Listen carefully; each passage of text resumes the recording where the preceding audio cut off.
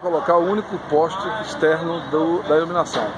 Informação do Gaspar, que está acompanhando aqui né, a retirada dos postes, seis torres, 80 mil watts de iluminação. Não deixa sombra, importante ressaltar, tá?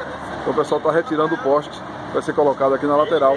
A chuva acabou, olha lá, a chuva acabou é, enchendo de água, como nós mostramos ali a manilha, e vai ser necessário escavar um pouco mais para poder colocar o poste já no lugar. Então o pessoal já deixa isso pronto hoje, já deixa no lugar.